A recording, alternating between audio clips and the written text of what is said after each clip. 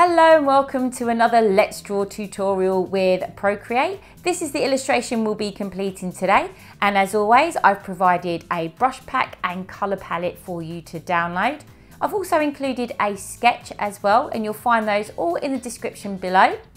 The canvas size is 2500 pixels by 2500 pixels at 300 dpi and when you're ready let's draw. Once we've created our canvas, the first thing we're going to do is change the colour of our background. So let's head over to our layers menu by tapping on the two squares here. We're going to select background colour and then we're going to select the first colour in the first row and then tap on the two squares to come out of that menu. The next step is to import our sketch onto our canvas. So let's head over to our wrench icon.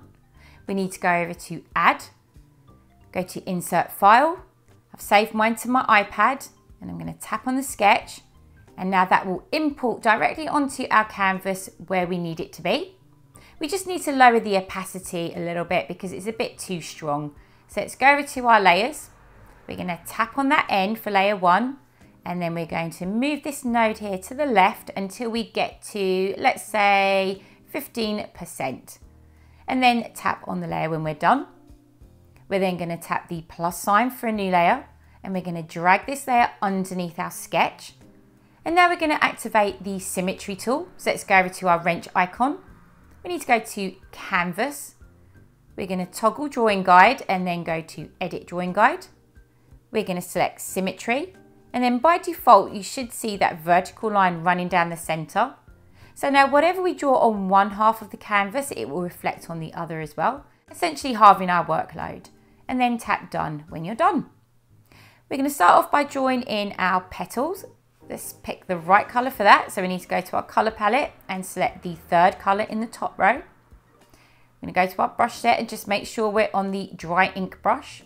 I've got the opacity here set to 100% and the size is set to 20%. I'm going to start here and I'm going to follow the sketch.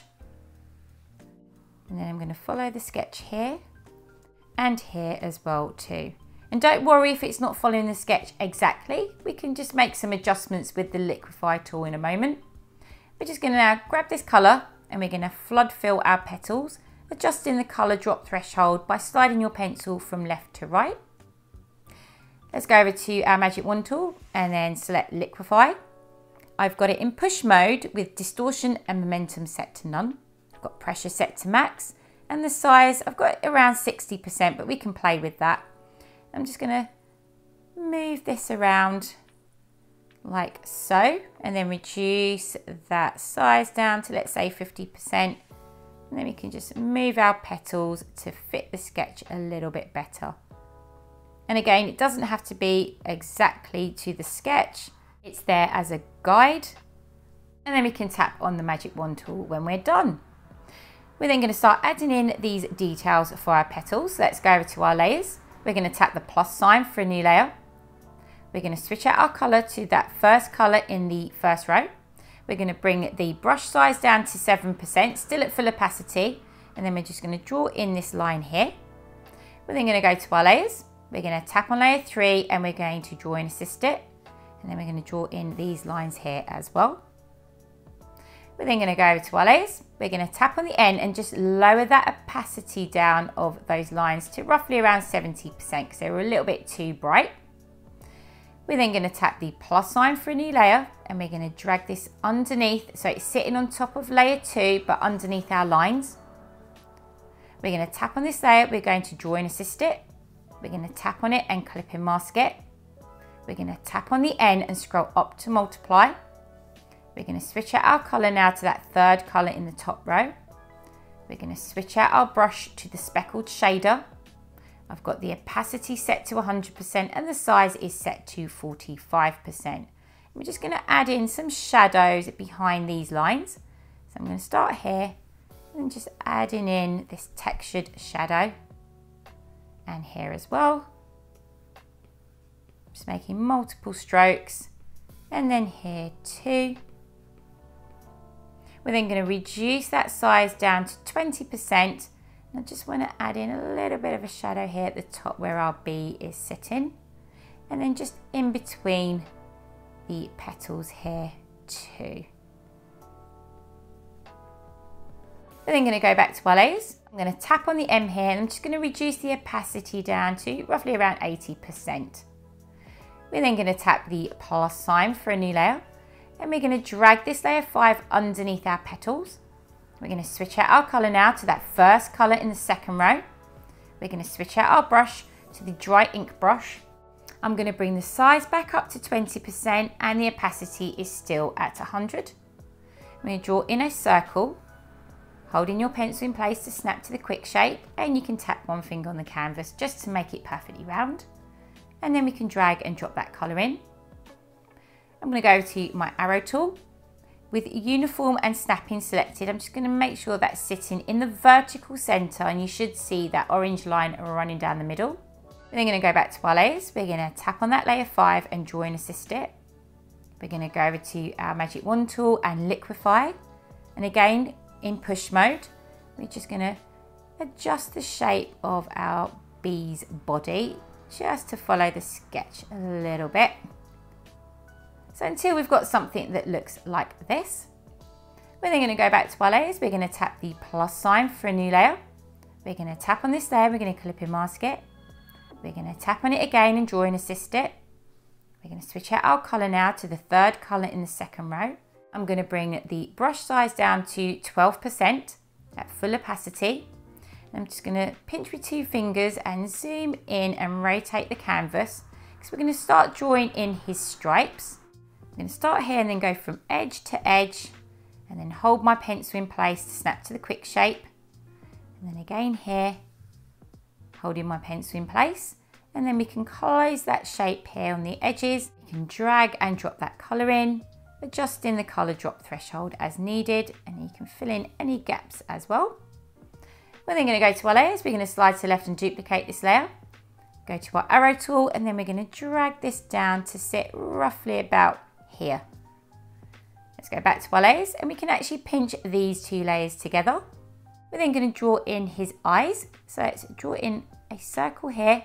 Hold your pencil in place to snap to the quick shape and then tap one finger on the canvas we can actually fill that in by hand.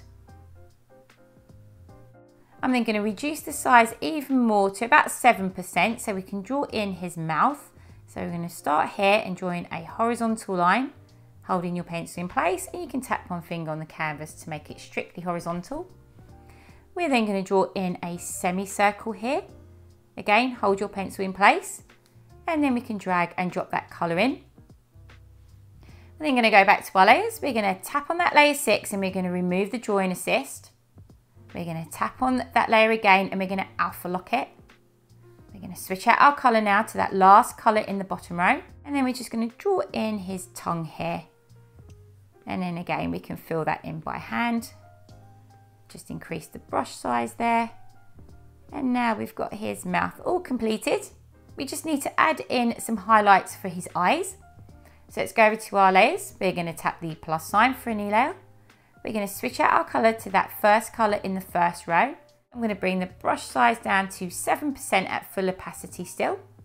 And then we're going to draw in a circle here. I'm holding my pencil in place, snap to the quick shape, and then tap one finger on the canvas. Then we can fill that in by hand. And then we can add a little tiny one here as well. We're then going to go to our layers. We're going to slide this layer to the left and duplicate it.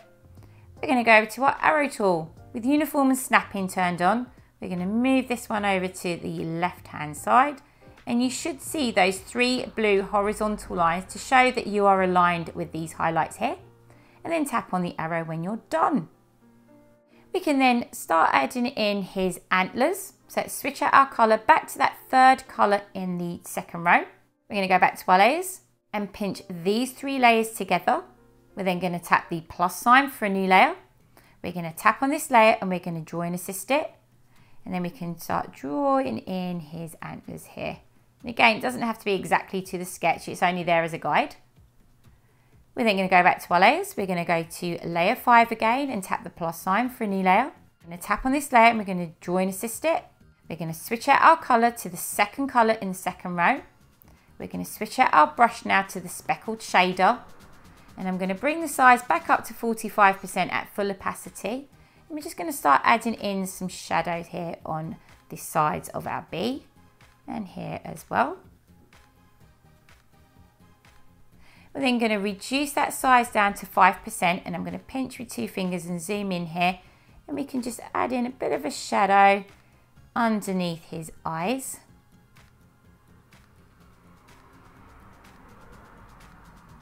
We're then going to switch out our colour to that first colour in the top row and then we're just going to add in a bit of a highlight here at the top of his eyes as well. It's ever so subtle but it's there And now we're going to add in his cheeks. So let's switch out our colour now to that second colour in the second row. Switch out our brush to the dry ink brush.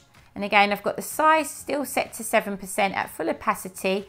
We're just going to draw in an oval here. Hold your pencil in place to snap to the quick shape. And we can drag and drop that colour in. Now let's add in his little hands here. So let's go back to our layers we're going to go to that top layer 3 here and tap the plus sign for a new layer. We're going to tap on this layer, we're going to drawing assist it. We're going to switch out our colour to that third colour in the second row. We're going to draw in an oval here, close the shape, and then drag and drop that colour in. I'm going to pinch with two fingers just to zoom out again. And now we're ready to draw in his wings. So let's go over to our layers. Let's go back to layer 5 and tap the plus sign for a new layer. We're going to drag this underneath layer 5. We're going to tap on it and drawing assist it. We're going to switch out our colour to that last colour in the top row. I'm going to bring the size of our brush back up to 20% at full opacity. And we're going to draw in an oval here, holding your pencil in place to snap to the quick shape. And if you need to, just tap on edit ellipse and you can pull these nodes around just to move them around and adjust the shape. And then tap back on the brush and we're going to draw in another oval here. Again, closing the shape, going to edit ellipse, and then we can move that around like so. And once you've done that, we're just going to drag and drop the colour into his wings there. We're going to go to our layers and tap the plus sign for a new layer. We're going to tap on this layer, we're going to clip and mask it. We're going to tap on the layer and drawing assist it. We're going to tap on the end and we're going to scroll up to multiply. We're going to switch out our brush now to the speckled shader. I'm going to bring the size up to 45% at full opacity and then we're going to just start adding in some shadow here on his wings. And I'm concentrating the shadow closer to his body and then here as well at the bottom. We can then go back to our layers. We're going to slide to the left and duplicate it. We're going to go over to our arrow tool with uniform turned on and snap in as well. We're going to grab this bottom node here and we're just going to make that one a little bit smaller and then we're going to pop that back into the vertical center and you should see that orange line running down the center and that blue horizontal line as well. Then we can tap on the arrow when we're done. We're now actually ready to remove the sketch and that symmetry line. So let's get rid of the symmetry line first by going over to our wrench icon. We need to be on canvas and then we can just toggle that visibility. Let's go back to our layers. We're going to tap on that top layer one and then just toggle that visibility there. We're then going to tap the plus sign for a new layer and we're going to drag this right underneath his wings. We're then going to switch out our colour to the second colour in the top row. We're going to go over to our brush set and we're going to set the leaf stamp. I've got the opacity and size set to 100%. I'm just going to zoom out ever so slightly by pinching with two fingers. And we're going to tap away on the canvas, adding in these leaves. We can then go to our layers. We're going to tap on the end and we're going to reduce the opacity down to let's say 75%. We're then going to go over to our magic wand tool Gaussian blur and then we're going to slide our pencil from left to right until we get to around the 10% mark we can tap on the magic wand tool when we're done. And if we pinch with two fingers and go full screen with four, that's today's tutorial complete. Thank you so much for following till the end. I hope you had fun with this tutorial. Please do come and share your designs with me over on Instagram as I really love seeing them. Don't forget to tag me in so I see them and then I'll give you a shout out to my stories as well. I'll leave a link to all of my socials in the description below, along with my Patreon page too. And you can come and join me over there with a seven day free trial and you can unlock some exclusive Procreate content too. Thank you all so much for your kindness and support. It really means a lot to me. And with all that said, I'll see you in the next one. Bye.